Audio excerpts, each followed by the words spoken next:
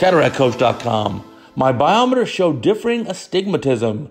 What to do when each machine gives a different measurement? So, first thing is Pearl 1, look at the ocular surface.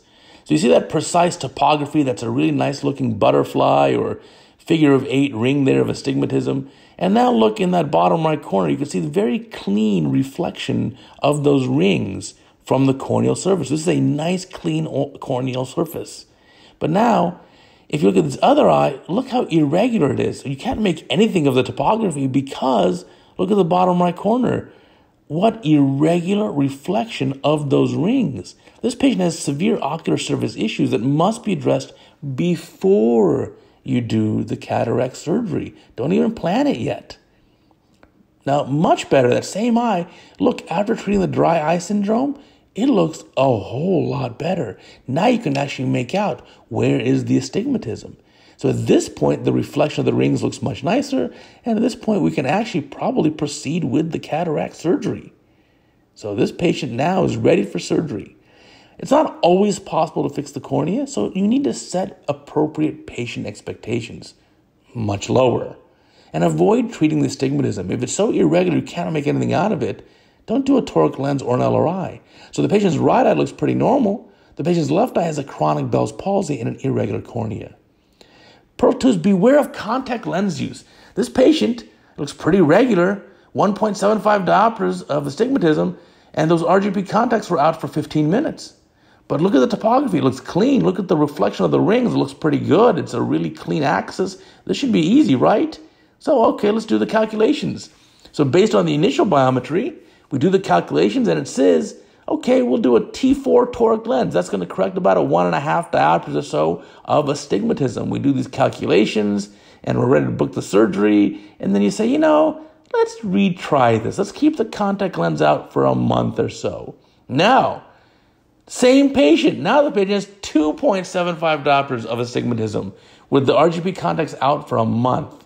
Wow, what a difference. You uncovered an entire extra diopter of astigmatism to treat. That's a huge difference. That's a lot more astigmatism. And so now we do the calculations. Now look, we're using a T6 toric lens. So that lens is going to correct about 2.5 diopters of astigmatism at the corneal plane. And I can tell you, the post op result for this patient was spot on. This patient was thrilled and absolutely had a perfect outcome there. And thank goodness we took the contacts out. Pearl 3, it's easier with higher astigmatism. Look at that arrow. That's an eye with zero cyl, cornea with no cyl. If you rotate it, nothing really happens, right? Because it's perfectly spherical. So if you look at the next one, that's a half diopter of astigmatism. And as we rotate it, you can tell it's bare. There's some cyl that's a little bit out of round, right? And if you go to one diopter, now it's even more obvious to see. You know, now you know where the circle has been squeezed. And one and a half diopters, look at that. It's so obvious now. So same with our topographers. If it's a high degree of astigmatism, it is so easy for the topographers and biometers to come up with an exact axis. This is the exact axis. But if it's a low amount of astigmatism, you kind of only know where's the astigmatism? What's the correct axis? So fortunately for higher degrees of astigmatism, it's easier. Now, Pearl 3, it is easier, like, like I said, with higher astigmatism, but certain eyes, even RK eyes, more than one diopter can still be consistent across the biometers. So let's RK cuts, four cut in one eye, six in the other, and look at the biometers. That's showing both the topography and the tomography of each eye, and they're dang near identical. So higher degree of cyl is easier. And here's that same patient who had the RK cuts. Look at the post-op results. That's the actual autorefractor printout. That's pretty darn close. And of course, it's an RK patient, so it's perfect now, but in five or 10 years, they'll be back to a little bit of hyperopia. And you can see those toric lenses were certainly the right choice for this patient. Lower astigmatism varies more. So similar axis, but different magnitude of astigmatism. So here, one machine topographer says half diopter 167, the tomographer says 0.78, the keratometer on the Lenstar says 0.95. Well, luckily you have all the same axis. So you can treat it, but go somewhere in the middle. So Pearl 4 is when in doubt, undercorrect. You can always do another LRI post-op or even do LASIK or PRK. But don't overcorrect them. And sometimes people like keeping their cyl.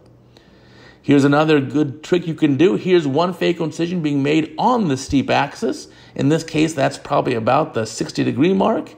And at the end of the case, the IOL's in the bag, let's make another incision there on that same axis. And this can treat about 0.5 to, to 1 diopter of astigmatism, depending on how you're doing it, the incision width, and your nomogram. So, using paired incisions is a very useful technique as well. And then finally, here at the end, here's an LRI.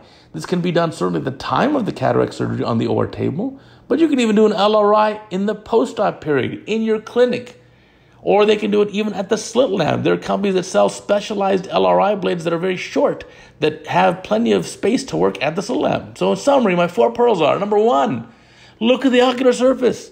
Number two, beware of contact lenses, especially RGPs. Number three, it's always easier with higher astigmatism.